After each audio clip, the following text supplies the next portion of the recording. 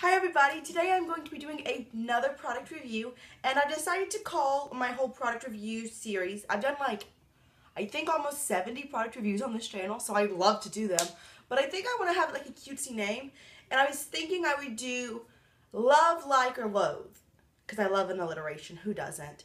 So either I love something, highly recommend it, I loathe it, I'm like, nah girl, or I like it, it's okay, I, you know, I, I just kind of like it. In today's video, as you can tell from the title, I am reviewing the YSL Touche Éclat Blur Primer. This is like a $55 primer. I did not pay $55 for it. I got this little bitty sample, which is actually, um, from what I believe, it's an ounce is on, ugh, that doesn't make any sense. A full size is an ounce, and this primer, which I got with a coupon code at Sephora, you know, you can put in a code, um, or they also have it as a 100 point perk sometimes, and it's this size, I'm assuming. I'm pretty sure. And this is a third of an ounce. So you can get a lot of like value. Like this is like a $20 almost sample for free. So if you are interested in this, do that. Um, and I've been using this a lot this month, as you can tell. So there's a teensy weensy bit left. But pretty much it's a clear gel and it's got some gold glitter in it. Now, I don't know if they're trying to tell you that that's actually Flexigold, but even if it is, it looks like gold glitter. So, it's got this kind of strange brush. It's got a really wide opening, and then it's got a paddle.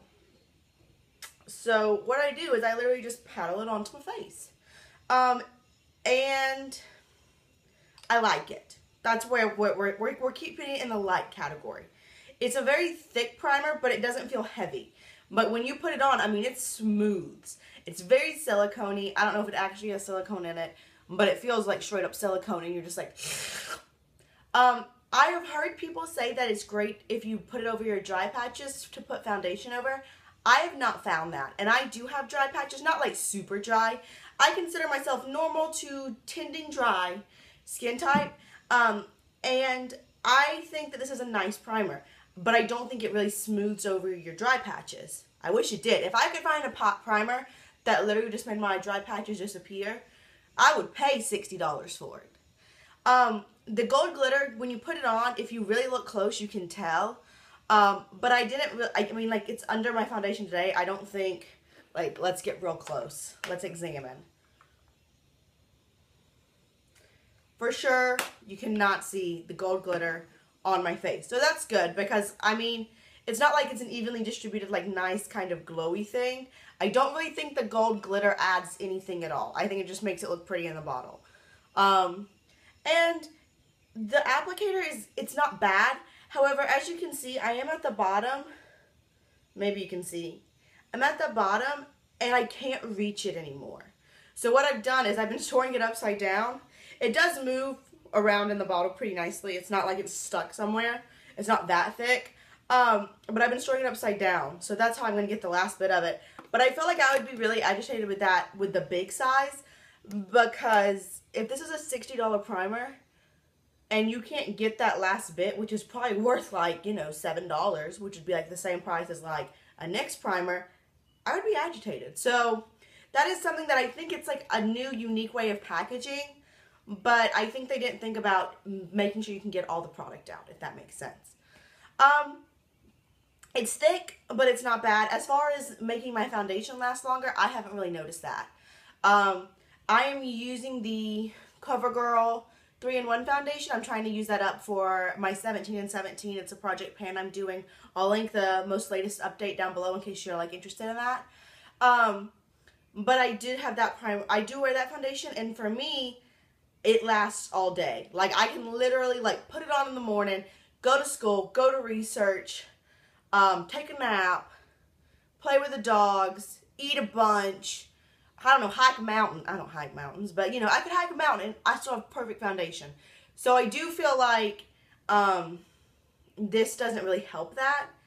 But I think, I don't know, I personally have not found a primer that really stuck my foundation on as well. Um, so all in all, it's not a bad primer. Not by any means. I like it. Um, I like it enough to pretty much, I think I'm going to probably finish this sample this month. And if it was a more inexpensive one, then I would I would say, you know, it's cool. Try it out.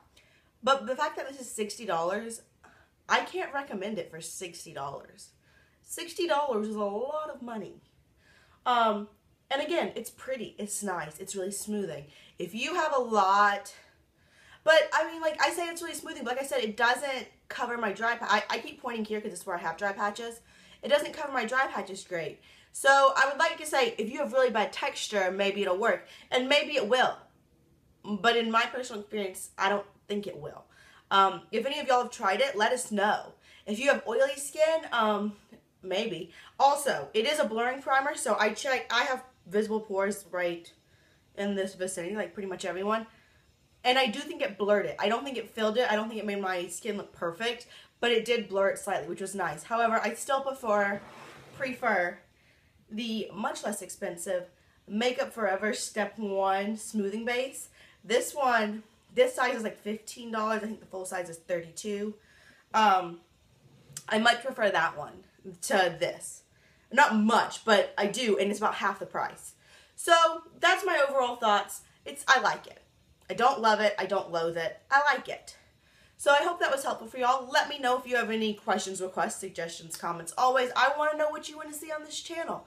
Um, if y'all have tried this, let me know what you think. Um, if y'all had a different experience than me, let's talk about it. I'm not, I'm not trying to say, don't buy this, it sucks. I'm just saying, eh, eh, it's alright. I like it.